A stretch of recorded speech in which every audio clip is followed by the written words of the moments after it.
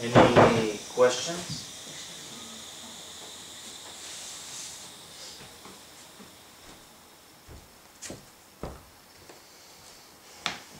We didn't sit a lot today. Does it mean anything? No. Can you recognize what is already here without not trying anything? Mm-hmm. Do you recognize there is a there is a silent silent awareness that is you right now? And it was throughout that it wasn't throughout it's only in the moment without being in time. You can sit and dream for two hours or three hours as we would be here and you can be here and your senses are alert and you don't analyze too much in the mind means you're stepped out of your mind and you're actually aware what effort and practice do you have to do Nothing. The opposite.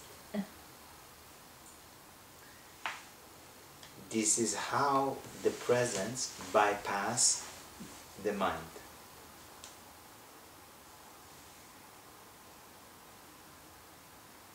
This is what traditionally they called satsang. Satsang.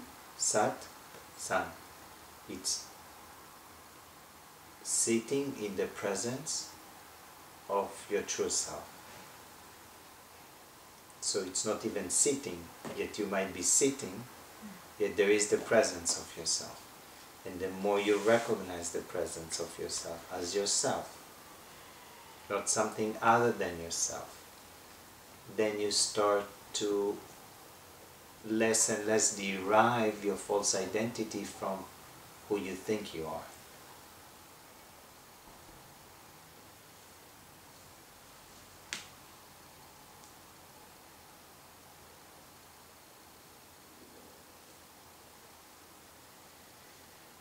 in some traditions they talk very clearly don't meditate.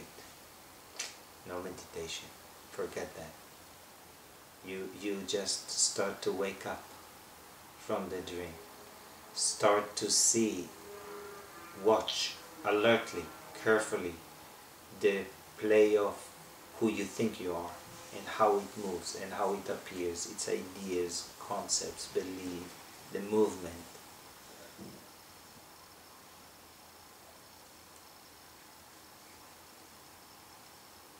and then spontaneously it's the presence of awareness sneaks in sneaks in sneaks in gently sneaks in and then it's effortless